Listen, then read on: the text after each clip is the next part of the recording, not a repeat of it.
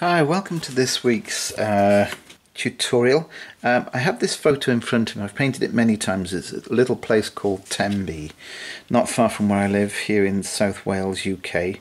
And um, as I say, I've always painted it quite bright and colourful, um, which I've really enjoyed doing in the past. But I just wanted to use this, because the shapes are so good, I wanted to use this um, to just sort of brush up on my tonal uh, attention to my tonal skill, skills.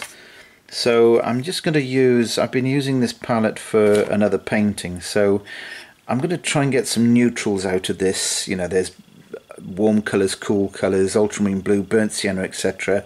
Um, so it's really going to be about a tonal study. I've drawn it out, um, and I probably will hint upon a slightly warmer sky up here incidentally, I'm using a, um, a paper called. Um, hang on a second. No, well, I've used it once before. Strathmore. Um, so I'm really not sure about it at the moment. It hasn't um, hasn't really sort of ignited any fires as yet. It's a little bit seems to lack a little bit of um, size or resist but it may be just a case of getting getting used to it. So just take some of that off and I'm going to drop this colour now down into some of this area. So I've got to try to ignore all those amazing colours the blues the gorgeous deep pink reds and the sort of um, pinky Naples yellow type colours. So just want it to be, as I say, a, a tonal study more than anything else. And I'll just lift more off the sky, I think.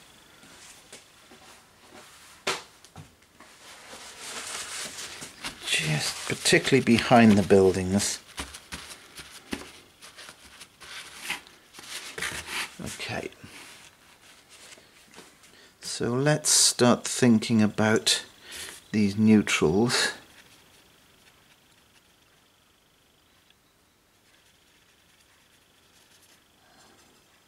This is mostly ultramarine blue. So you can sort of see that uh, I'm taking the ultramarine blue from here. I've got a little bit of light red at the edge of that puddle.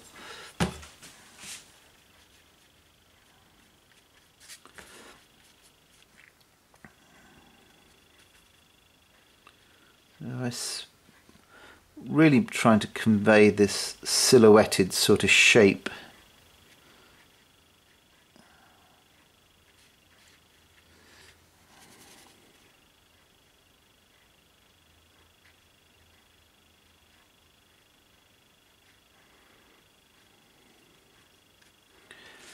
And as we come down to the foreground, I'll see if I can uh, reserve some light around my figures down here.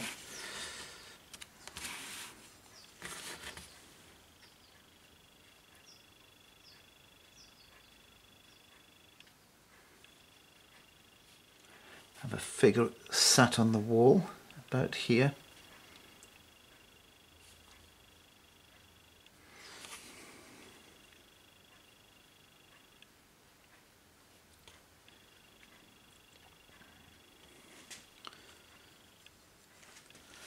Some very nice shadows going on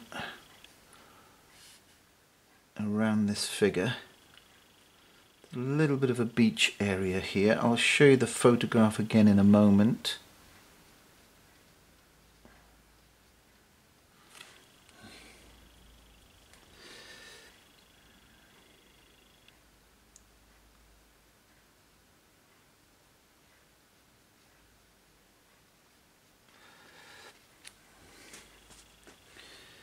So make sure that that head doesn't end up too big.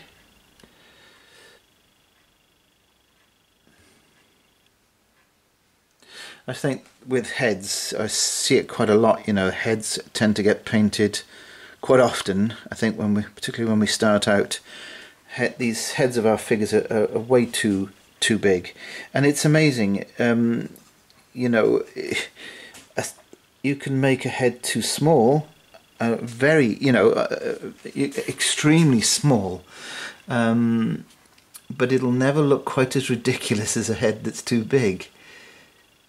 It's it's it's an interesting one. Um, always err on the the smaller because, like I say, you know, it's um, the, it looks more ridiculous when you paint things uh, when you make these heads too too big. And a, an undersized head will always work fine. So let's try and get try to carve out the shape around my figures here if I can.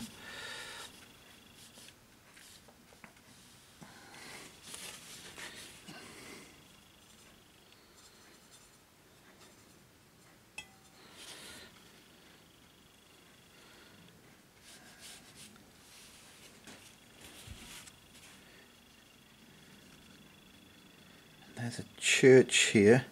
I'm just trying to find that moment, that's sort of moment where the um,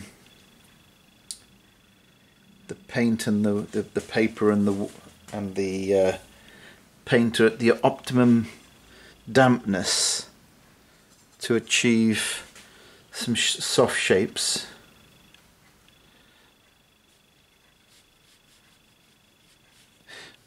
But knowing, of course, that I will have to go in at some point soon uh, and create slightly more rigid shapes, shapes with uh, a, a more defined edge.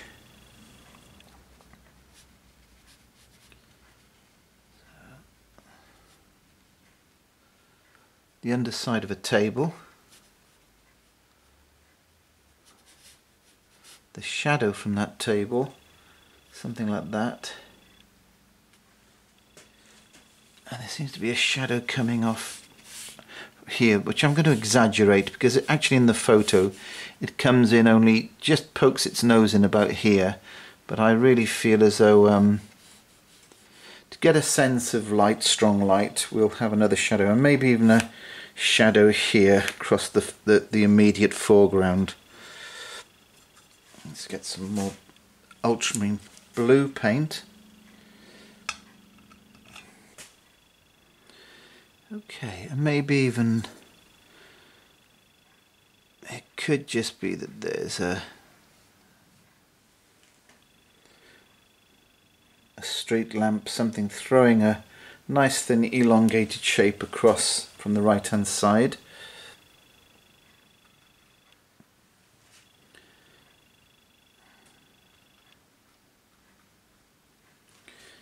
Okay.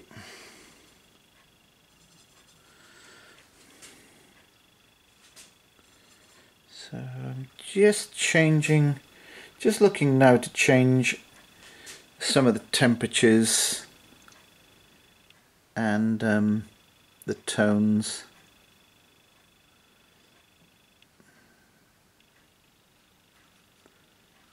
Some of these uh, brush marks I'm making right this minute are test test shots to see just how wet things still are.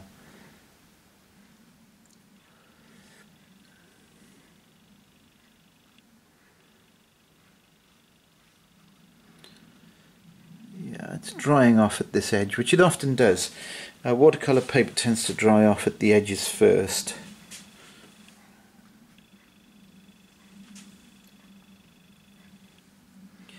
I think I need to reduce the height of that figure there.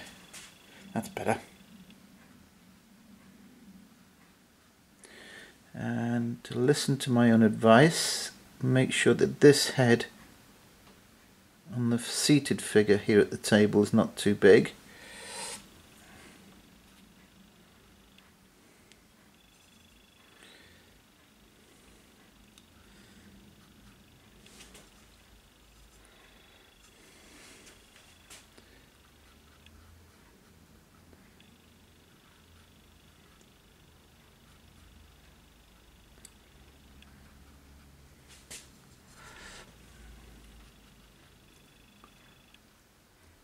There's this wall here, and I'll just show you the photograph again. So I'm trying not to spend to, to, to pay too much attention to the detail within the interior because it is meant this is meant to be a a tonal study, not so much a detail study.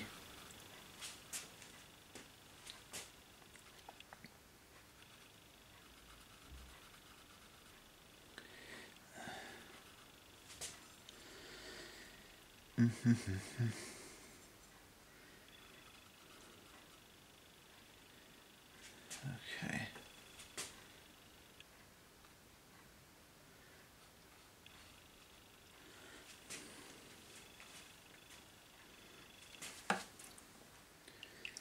I think I'll just have to pull my edge back here.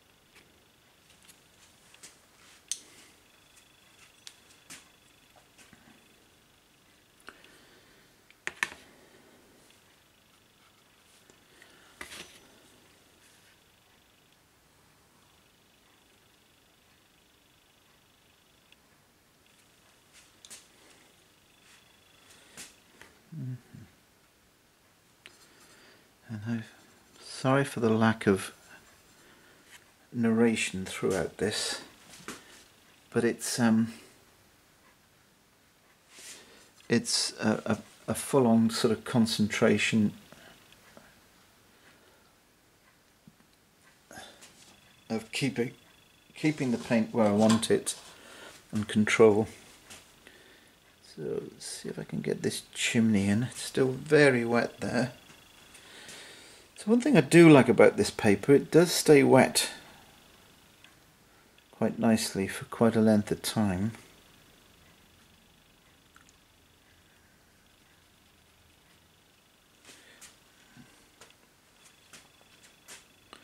And I think I might be at that point where I have to speed dry now.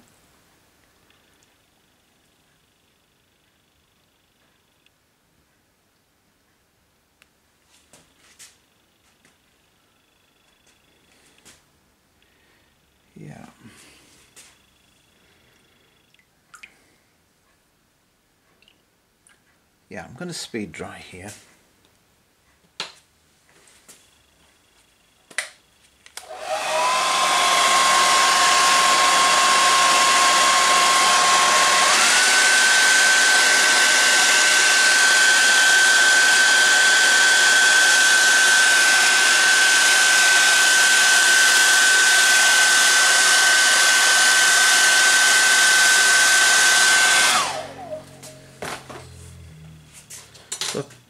Purposely held back then rather than dry it off completely because there's an opportunity while some of these areas are somewhere between wet and damp just to um, take create some some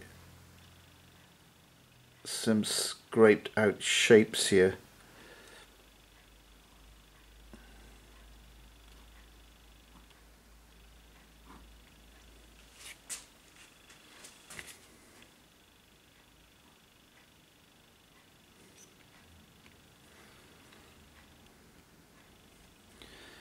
Okay.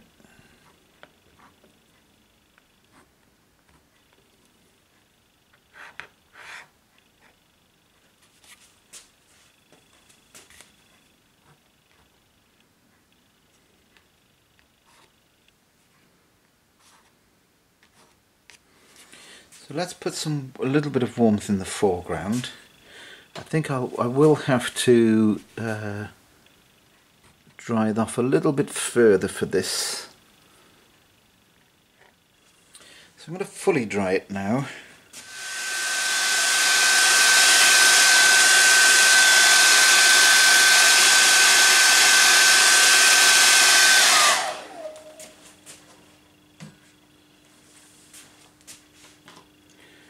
pick up a little bit of uh, light red, very weak. This is mostly water.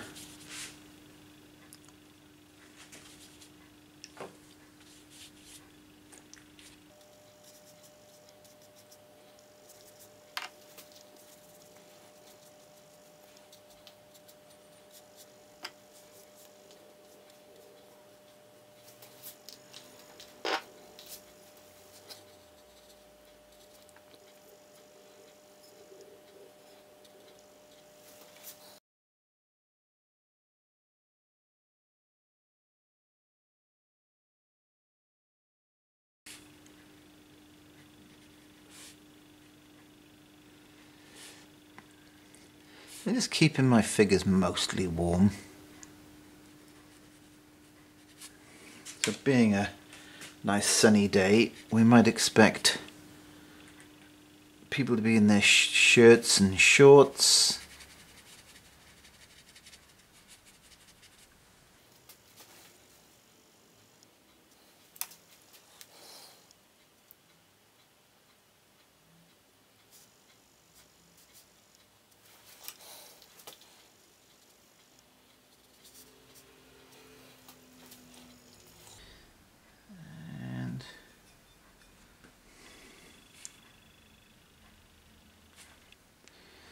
Let's have the light on this person's back.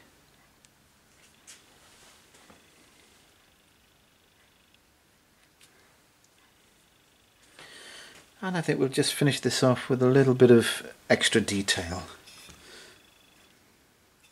So I'm just turning to um, ultramarine blue and burnt sienna, making a glue-like mix.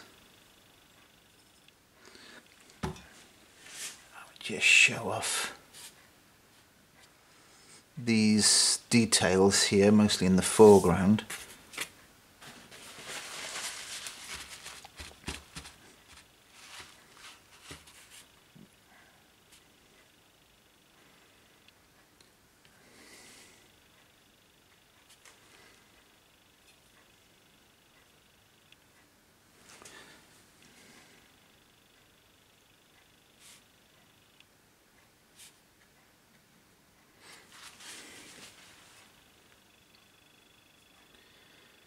Just feel as though these sort of dark areas should be quite warm. So I'm making sure there's plenty of the light red in this mix.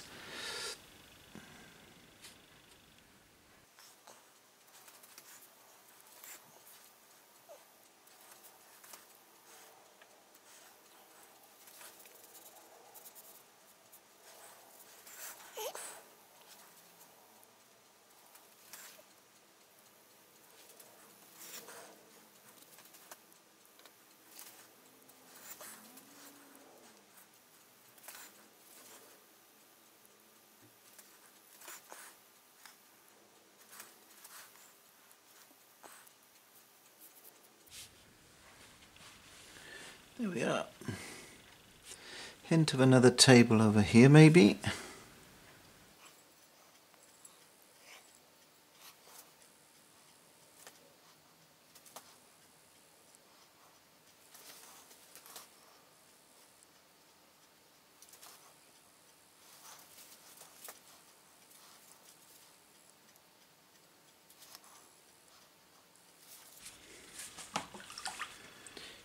And I think we probably need to consider that to be the finished article.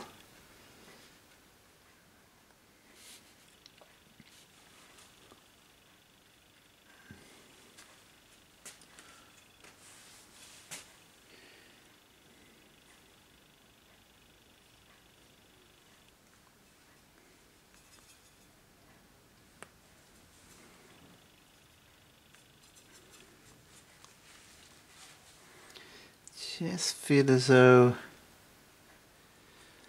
we need to darken up a couple of areas still here.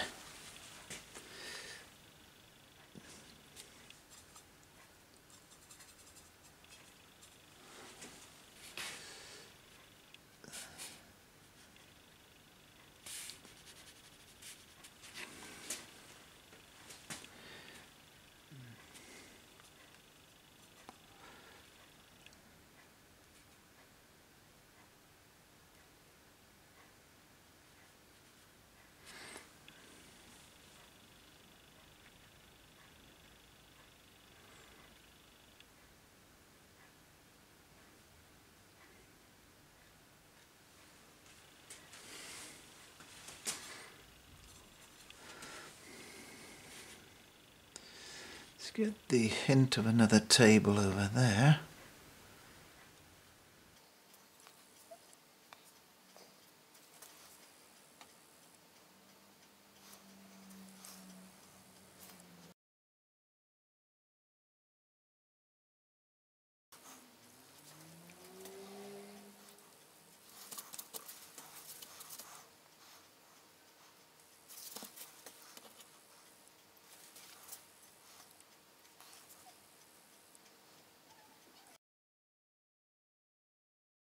There we are, folks. I hope you enjoyed this quick uh, tonal um, study. Um, kept it as simple as possible. Changed it from the original photograph. Bright sunny day. Um, so uh, hope you've enjoyed this. Please remember to hit the subscribe button. And um, if you want immediate notifications as and when I upload the new videos, then all you have to do is uh, click on the bell icon. Till next time, happy painting.